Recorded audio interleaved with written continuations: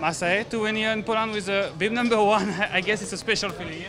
Yeah, for me something special because um, I get the number from uh, Rafa Majka, number one, and first victory of the, my career in World Tour. So it's one day, beautiful day for me.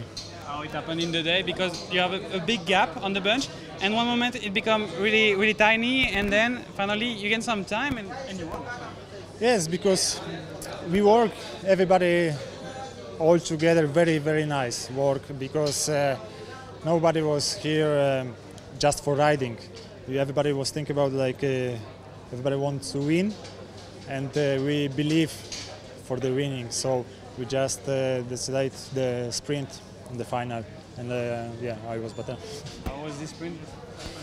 Yeah, when I started was a little bit wet. Uh, the, yeah, it was raining, and I my wheel behind was a little bit skip. But uh, when I looking behind, uh, my uh, the other riders was a little bit behind, so I believe that I win.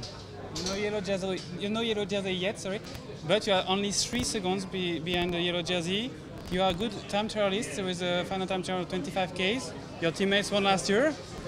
no, no, you know tomorrow is so difficult uh, stage.